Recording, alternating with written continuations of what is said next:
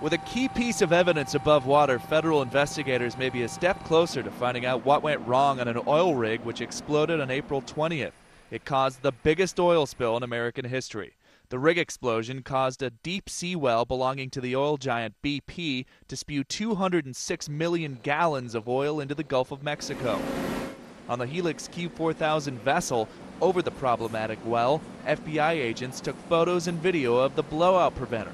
That's the device meant to stop the explosion which sunk the Deepwater Horizons oil rig, resulting in 11 men killed.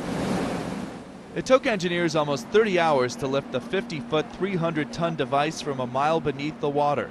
The buildup of combustible ice crystals on the device, called hydrates, caused a number of delays. Investigators know a bubble of methane gas triggered the explosion. It escaped the well and traveled up the drill column. But they don't know or exactly why the gas escaped or why the device did not plug the massive leak as it was supposed to. They say a closer look at the blowout preventer will hopefully answer those questions. John Mone, The Associated Press, New Orleans.